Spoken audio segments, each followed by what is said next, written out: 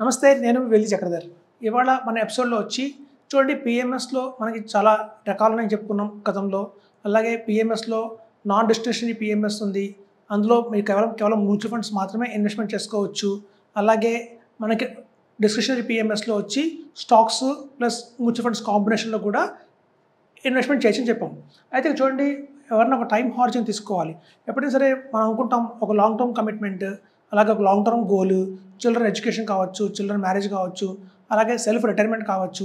ఇట్లాంటి గోల్స్ ఏవైనా సరే ఒక లాంగ్ టర్మ్లో ఉన్నప్పుడు మనం ఒక ఫిఫ్టీన్ ఇయర్స్ కనుక టైం ఫ్రేమ్ తీసుకుంటే చూడండి రాబోయే టూ థౌజండ్ ట్వంటీ ఫైవ్ నుంచి టూ థౌజండ్ ఫార్టీ దాకా ఒక ఫిఫ్టీన్ ఇయర్స్ హారిజన్ ఉంది. సో ఈ ఫిఫ్టీన్ ఇయర్స్ టైం ఫ్రేమ్లో మనం కనుక ఓన్లీ మ్యూచువల్ ఫండ్స్ మీద కాన్సన్ట్రేషన్ చేస్తే రిటర్న్స్ ఎలా వస్తాయి? అలాగే మ్యూచువల్ ఫండ్స్ ప్లస్ స్టాక్స్ అంటే పిఎంఎస్లో twenty five lakhs mutual funds twenty five lakhs స్టాక్స్లో ఇన్వెస్ట్ చేసిన అలా వస్తాయి రిటర్న్స్ అలాగే మనకి కేవలం కేవలం స్టాక్స్లో మాత్రమే ఇన్వెస్ట్మెంట్ చేస్తే రిటర్న్స్ ఎలా వస్తాయని చూద్దాం. ఇప్పుడు చూడండి mutual funds mutual funds stocks only stocks అలా కనుక మనం డివైడ్ చేస్తే ఫిఫ్టీన్ ఇయర్స్లో మనకి రిటర్న్స్ ఎలా మారుతాయని చూద్దాం. ఇప్పుడు చూడండి మనం మ్యూచువల్ ఫండ్స్లో ఫిఫ్టీన్ పర్సెంట్ కంటే రిటర్న్ మనం ఎక్కువ ఎక్స్పెక్ట్ చేయలేం.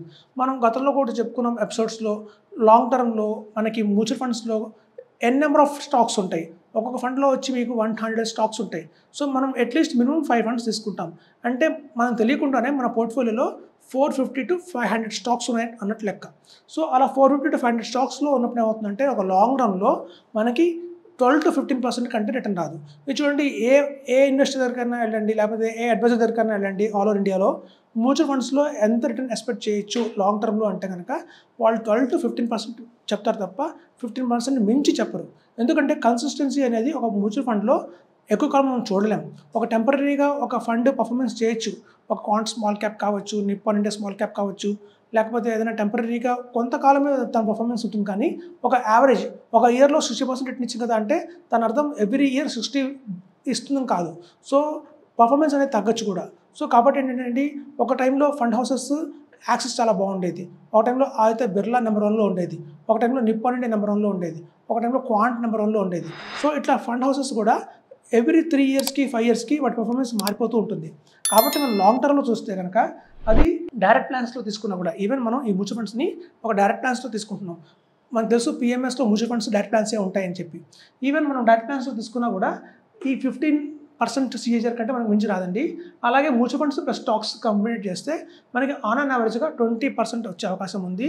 అలాగే కేవలం కేవలం స్టాక్స్ ఉన్న పిఎంఎస్లు తీసుకుంటే మాత్రం మనకు అత్యధికంగా ట్వంటీ ఫైవ్ పర్సెంట్ వచ్చే అవకాశం ఉంది.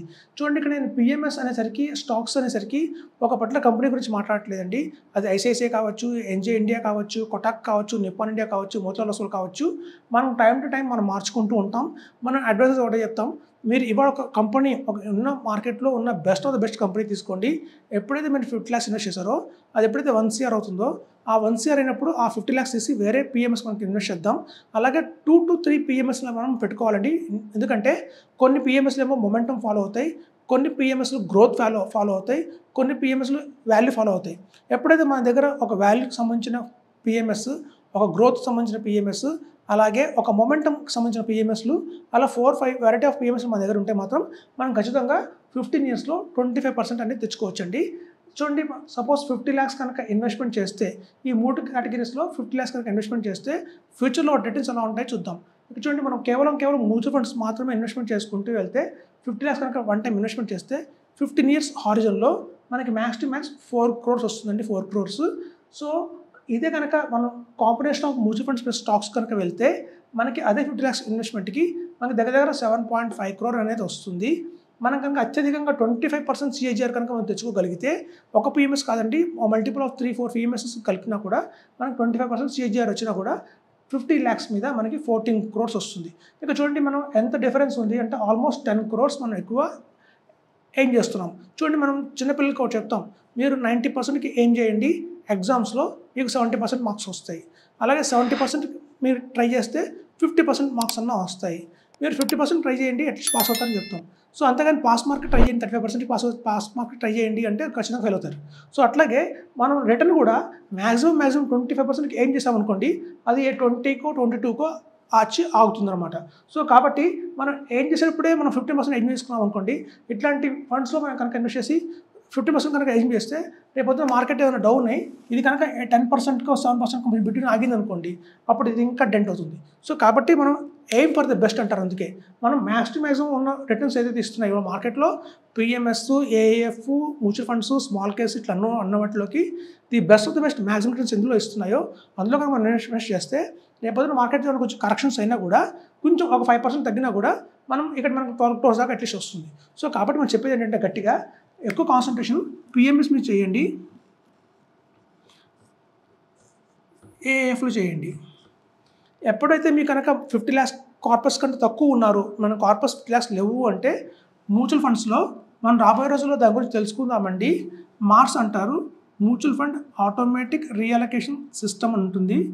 ఇది ఒక మ్యూచువల్ ఫండ్లో ఒక టూల్ అండి. ఇది మంచి బ్రహ్మాండమైన టూల్ ఈ టూల్ వాడచ్చు. బిలో ఫిఫ్టీ ల్యాక్స్ కనుక ఉంటే అలాగే స్మాల్ కేస్ సో ఇప్పుడు చూడండి ఈ స్మాల్ కేసు మ్యూచువల్ ఫండ్లో మార్స్ పిఎంఎస్ ఏఎఫ్ వీటన్నిటిని కూడా జెన్ నెక్స్ట్ అంటారండి.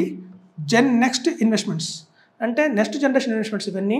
మనకి గతంలో post office bank FD real estate gold ఇలాంటివన్నీ చూసాం మనం మ్యూచువల్ ఫండ్స్. సో ఇవన్నీ కూడా ఏంటంటే నెక్స్ట్ రాబోయే తరానికి ఒక అద్భుతమైన జెన్ నెక్స్ట్ ఇన్వెస్ట్మెంట్స్ అండి. సో మనం వీటిలో కనుక ఇన్వెస్ట్మెంట్ చేసుకుంటూ అలవాటు చేసుకుంటూ వెళ్తే మనకి రాబోయే రోజుల్లో ఒక మంచి వెల్త్ అనేది క్రియేట్ చేయడానికి అవకాశం అయితే ఉంది. సో కాబట్టి mutual funds mutual fund plus stocks stocks బెటరా అంటే మనం ఈ stocks or mutual fund plus stocks ఈ రెండింటి మీద కాన్సన్ట్రేషన్ చేయాలండి. ఇది మనకి పిఎంఎస్లోనే సాధ్యమవుతుంది. ఒకవేళ మన దగ్గర ఫిఫ్టీ ల్యాక్స్ లేవు అంటే మాత్రం ఈ రెండు కాంబినేషన్లో వెళ్ళొచ్చు. మ్యూచువల్ ఫండ్స్ ఏమో మార్క్స్లో వెళ్ళొచ్చు. అలాగే స్మాల్ కేస్ స్మాల్ కేస్ ఈ రెండింటి కాంబినేషన్లో కూడా మనం పోవచ్చు. So fifty lakhs and above below ఉన్న వాళ్ళకేమో ఇది బెస్ట్ అండి. ఫిఫ్టీ ల్యాక్స్ అండ్ అబవ్ ఉన్న వాళ్ళకి పిఎంఎస్ ఏఎఫ్ బెస్ట్ ఇది నెక్స్ట్ జనరేషన్ ఇన్వెస్ట్మెంట్స్ కాబట్టి ఇట్లాంటి వాటిలో ఇన్వెస్ట్మెంట్ చేసి అత్యధికంగా లాభం పొందమని చెప్తున్నాను. థ్యాంక్ యూ అందరూ నమస్కారం అండి. నా వెళ్ళి చక్ర ఛానల్ని సబ్స్క్రైబ్ చేసిన ప్రతి ఒక్కరు థ్యాంక్స్ చెప్పుకుంటున్నాను. అలాగే నా వెళ్ళి చక్ర ఛానల్లో మనం స్టాక్స్ గురించి మ్యూచువల్ ఫండ్స్ గురించి రియల్ ఎస్టేట్ గురించి హెల్త్ ఇన్సూరెన్స్ గురించి ప్రతి ఒక్కరికి ఉపయోగపడే సబ్జెక్ట్స్ మనం తీసుకొస్తున్నాం కాబట్టి అది మీకు మీ ఫ్రెండ్స్కి మీ రిలేటివ్స్కి ఎంతో ఉపయోగపడుతుంది కాబట్టి లైక్ చేయండి సబ్స్క్రైబ్ చేయండి షేర్ చేయండి. మీకు ఏమైనా సందేహాలు ఉంటే ఈ కింద ఉన్న స్కూల్ నెంబర్లో కాల్ చేసి నన్ను కాంటాక్ట్ అవ్వచ్చు. Thank you